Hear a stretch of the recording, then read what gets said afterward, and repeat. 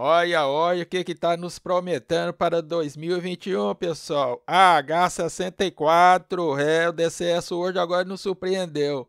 2021 vai ser daquele jeito. Eu vou aproveitar que tem um modelo já texturizado aqui, vou colocar alguns vídeos para vocês terem uma ideia do que é o H64 aqui no DCS. O piloto é aí, mas o coração é nosso. H64 para 2021. Vamos esperar, pessoal. Acompanha aí.